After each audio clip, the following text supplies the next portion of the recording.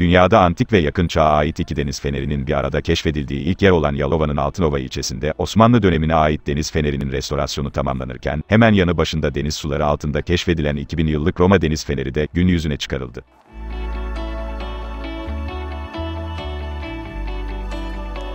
Türk ve dünya tarihinde önemi, yeni yeni anlaşılmaya başlanan Yalova'nın Altınova ilçesinde, hem antik dönem hem de Osmanlı dönemine ait iki deniz fenerinin bir arada olduğu tek yer olan Hersek Lagünü, Deniz Fenerleri Müzesi oluyor. Restorasyon ve kazı çalışmalarını inceleyen Altınova Belediye Başkanı Metin Oral, yetkililerden bilgiler aldı. Altınova Belediye Başkanı Metin Oral, oluşturulacak olan müzenin, ülkenin en en önemli açık hava deniz feneri müzesi olacağını söyledi.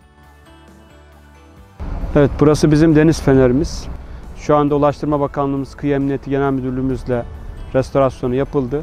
İnşallah bizler de e, burayı bir müze haline getiriyoruz.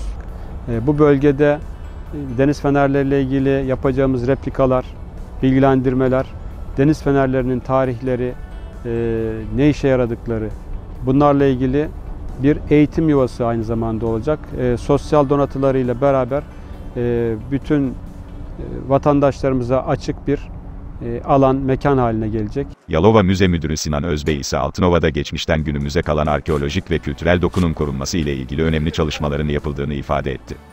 Altınova ilçemizde e, geçmişten gün- günümüze kalan arkeolojik ve e, kültürel dokunun korunması ile ilgili olarak gerek Kültür Turizm Bakanlığı, gerek e, valilik, gerekse de Altınova Belediye Başkanlığı ile Yalova Müze Müdürlüğü işbirliği içerisinde bu dokuların yaşamın içerisine girerek korunarak kullanılmasını amaçlayan bir proje yürütüyoruz şu anda.